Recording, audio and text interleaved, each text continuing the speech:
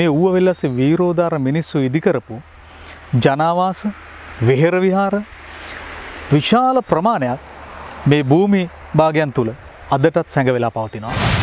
උන්වහන්සේලාගේ ආශිර්වාද ඇතුව තමයි මේ මහපොළොව මේ ප්‍රමාණයට හරි අද විද්දි රැකිල තියෙන්නේ.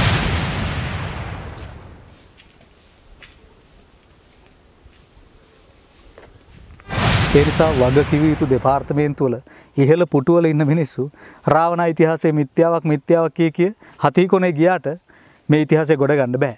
ඒ නිසා මේ ලඳු කැලෑ පීරමින් මේ ඉතිහාස නටබුන් ගවේශණය කරමින් පර්යේෂණය කරමින් මේ රටේ අනන්‍යතාවය මේ මහපොළොවේ ජීවත් වෙච්ච මිනිස්සු කරපු අභිමානනීය නිර්මාණවල සහතිකය වර්තමාන පරපුරට හෝ දෙනු ඇතැයි අපේක්ෂාවෙන් තමයි මේ හෙළිදරව් කිරීම කරන්නේ.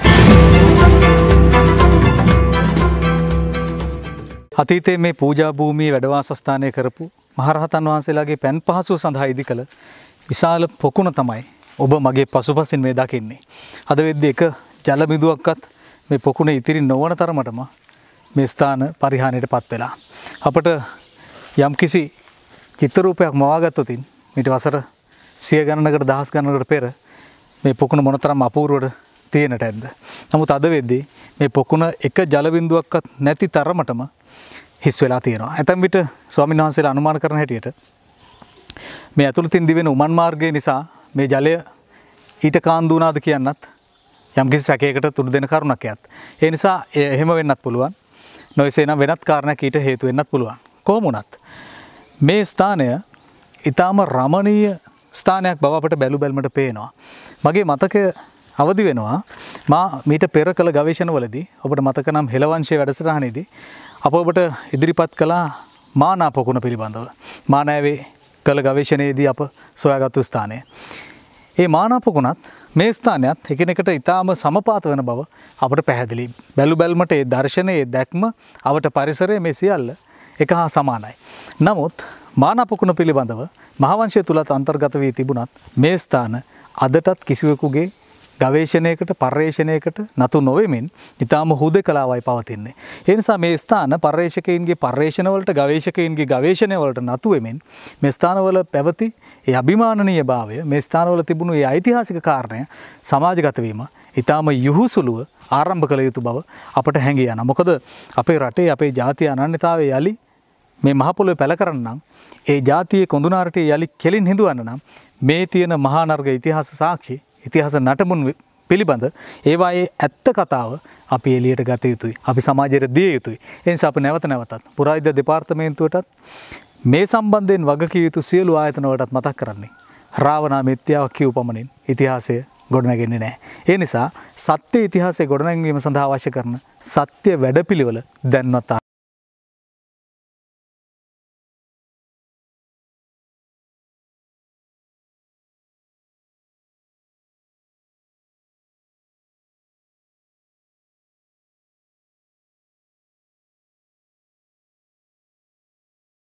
දෙකක් පමණ ඇතුළට ඇවිත් ඉන්නේ. එක්තරා කන්දක මැදහරියක් කිවොත් නිවැරදි. මෙතන විශාල කටාරම් කෙටු ලෙනක් තිබෙනවා. ඇතැම් විට ඉතිහාසේ මහරහතන් වහන්සේලා වැඩවිසු ධ්‍යානසුවයෙන් කල්ගෙව් ස්ථානයක් වෙන්න පුළුවන්. හැබැයි මෙතන තව විශේෂකාරණයක් තියෙන හින්දා අපි හාමුදුරුවොත් එක්ක මෙතන කතා කරන්න අපිට හිතුණා. මොකද අපි කටාරම් කෙටු ලෙන් දැකලා තියෙනනේ. හැබැයි මෙතන මේ අමුතු කටාරමකුත් තියෙනවා. ඔබට මගේ පසුපසින් පේනවා ඇති මේ කොන්ක්‍රීට් මේ බදාම බදාමෙන් හදපු කටාරමක්. අපේ හාමුදුරනේ කවුද මේ වගේ විකෘති කරන්නේ? එතුමයි මහත්තයෝ.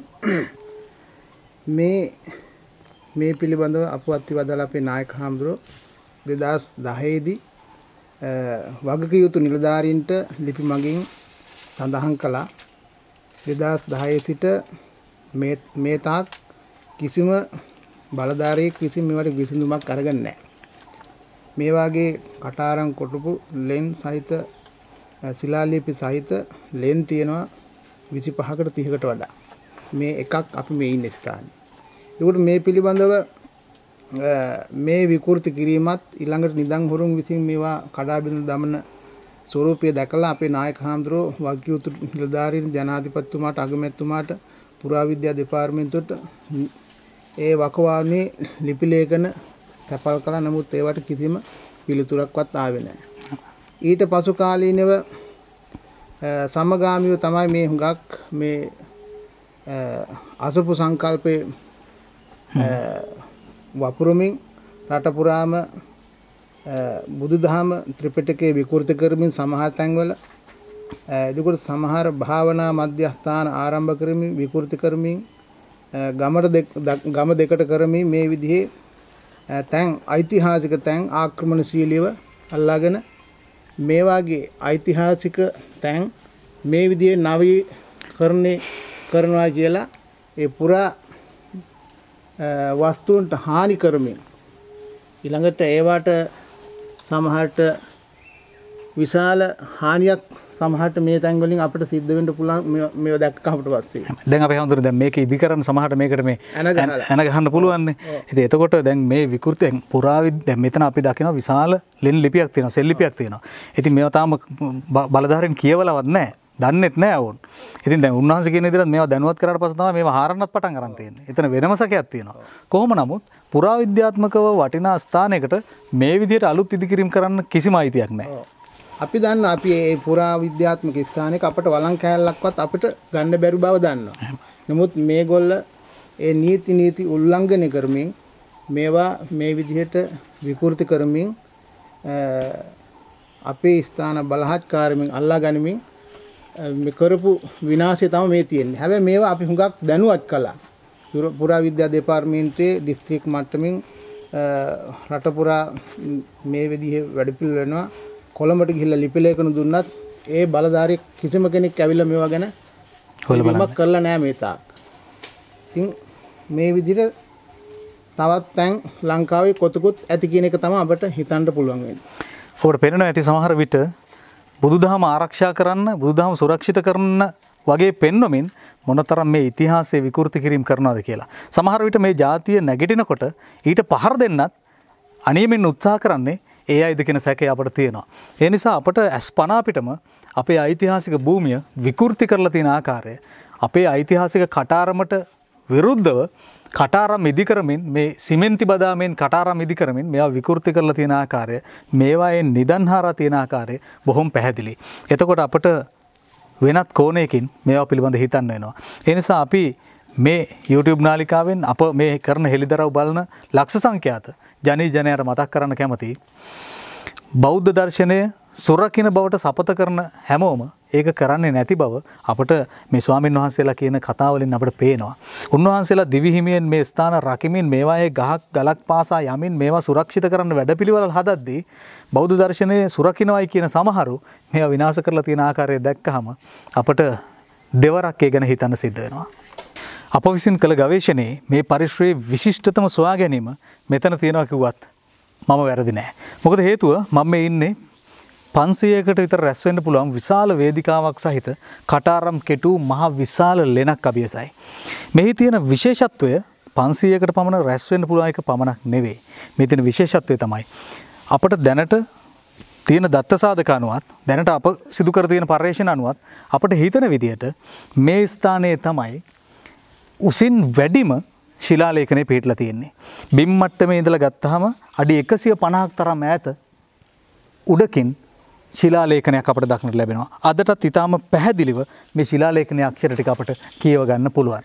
ඒ නිසා මෙතන පොළොව මට්ටමේ ඉඳන් අඩි 150ක් පමණ උසින් මේ කටාරම් කෙටු ලෙනේ ඉතා ඉහළ කෙළවරේ ඔබට දැන් පේනවා ඇති ශිලාලේඛනය ඉතා අපූරුවට දිස්වෙන ආකාරය. ඒ නිසා සමහර විට ලංකා ඉතිහාසයේ දැනට සොයාගත් ශිලාලේඛන අතර උසින්ම පිහිටි ශිලාලේඛනය මෙය විය හැකි. ඒ නිසා මේ අප කළ සොයා ගැනීමක් මෙහි ගෞරවය මේවා කළ මිනිසුන්ට අයිතිවිය යුතුයි. ඒ නිසා අපේ රටේ ඉතිහාසයේ මිනිසුන් මේවා කොහොම කරන්න ඇද්ද කියන කාරණය පවා අදටත් අපට හිතාගන්න අමාරුයි. මේ විශාල පියස්සක් සහිත ගල්ලනේ කටාරම කොටා තිබෙන ආකාරය. ඒ සිදු කිරීම සඳහා මොනතරම් මහන්සියක් ශ්‍රමයක් ඔවුන් වැය කරන්නට කැප කරන්නට ඇද්ද.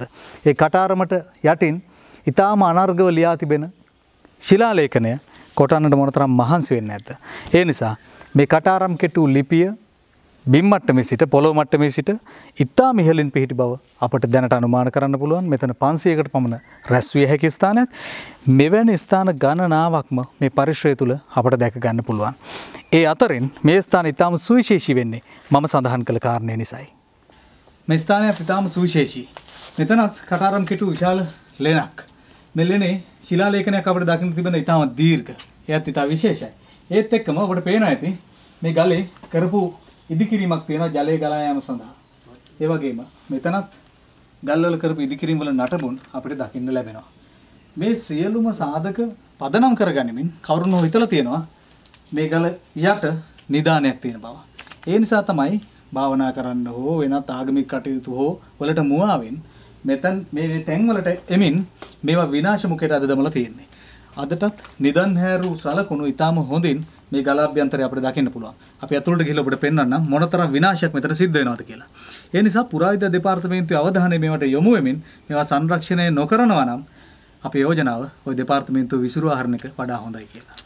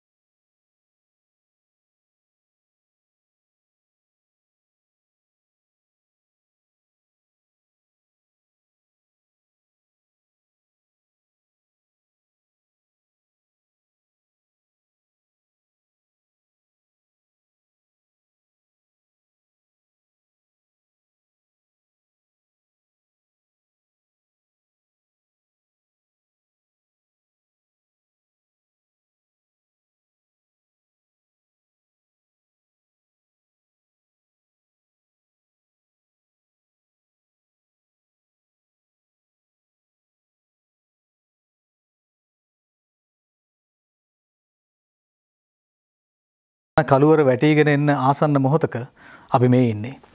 මේ වෙද්දිත් මේ කටාරම් කෙටු ශිලාලේඛන සහිත මහා විශාල ලෙන් තවමත් හොයාගෙන අවසන් නෑ අපි. තවත් අපිට බැලූ බැලූ තැන කටාරම් කෙටු මේ ආකාර විශාල ලෙන් ගණනාවක්ම දකින්න ලැබෙනවා. අපේ හාමුදුරනේ මේ ස්ථානය අපි කතා කරන්න සුදුසුයි කියලා තෝරගත්තේ අපිට පේනවා අර ඔබ වහන්සේ කලින් කිව්වත් වගේ මේ ස්ථාන නිදන් හොරුන්ගේ ආක්‍රමණයෙන් නතුවන ආකාරය. ඒත් එක්ක අපේ හාමුදුරනේ අර ඔබ වහන්සේ කිව්වා සමහරු මේ අසපු මුවාවෙන් මේ වැඩේ දියත් කරනවා කියලා. ඇත්තටම මෙතන අපට චීවරයක් බුද්ධ චීවරයකුත් දකින්න ලැබෙනවා. ඉතින් මේක මොනතරම් ඛේදවාචකද අපේ හාමුදුරනේ බුද්ධ චීවරයක් මෙහෙම තියෙන එක. ගායන මහත්තයෝ බොහොම අ, හදවත බොහොම කිලිපොනා කිලිපොලා යන මේ වගේ දේවල් දැක්කහම මොකද බුද්ධ චීවරය කියන්නේ අරහත් ධජයක්. මේවා දැක්කහම අපිට පේනවා මේ භික්ෂුන් වහන්සේලා කවදාත් මේ විදිහට බුද්ධ චීවරය දාලා යන්නේ නැහැ. එහෙමයි. මේ සම්පූර්ණම මේ වගේ දේවල් කරන්නේ නිදන් හුරු ඇවිල්ලා බුද්ධ චීවරය දාගෙන එහෙම නැත්නම් භාවනා කරනවා කියන මුවාවෙන් මේ ගම් වලට ඇවිල්ලා මේවා හාරමින් අහිංසක දුප්පත් මිනිසුන්ගේ දන් ටික වළඳලා කරන වැඩ තමයි අපිට මෙවන් පෙනී යන්නේ. ඒ නිසා මේවා මේ ඇස් තියෙන අයට ඇස් ඇරෙන්න ඔබතුමාට පින් සිද්ධ වෙන්න ඕනේ මේ වගේ මාධ්‍යයකින් මේවා හෙළිකිරීම පිළිබඳව. අපේ හාමුදුරනේ දැන් තවත් විශේෂ කාරණයක් අපි දැක්කා. දැන් මේක ගල්ලෙනක්නේ. මේ ගල්ලෙනේ සංගණන වාර්තාවකුත් තිබ්බ අපි දැක්කා. එහෙම වෙන්න පුළුවන්ද අපේ හාමුදුරනේ? එහෙම වෙන්න බෑ. මොනම හේතුවක් නිසාවත් මේ ඓතිහාසික මේ පුරා විද්‍යාත්මක ස්ථානවල සංගঠন කරලා මේවා නම් කරන්න පුළුවන් කමක් නැහැ. ඒවා සම්පූර්ණම රාජ්‍ය නීති විරෝධී ක්‍රියාවක් හැටියට මම දකින්නේ. එනිසා ඔබට පැහැදිලි වෙනවා ඇති මේ ඉතිහාසය යටගැහීම සඳහා මේ ඉතිහාසය විනාශ කර දැමීම සඳහා මේ ස්වභාවික ස්ථානවල ඊටාම අපූර්වවට එදා නිර්මාණය කරපු නිර්මාණ කෘත්‍රිමව විනාශ කිරීම සඳහා මොනතරම් කුමන්ත්‍රණකාරී වැඩපිළිවෙළවල් දියත් වෙනවද කියලා. අපි දිගින් දිගටම මේ මාධ්‍ය තුලින් කරන්නේ ඒවා ඉස්මතු කරමින් ඔබ දැනුවත් කරමින් අපේ උරුමය සුරක්ෂිතකට මතු පරපුරට දායාද කිරීම.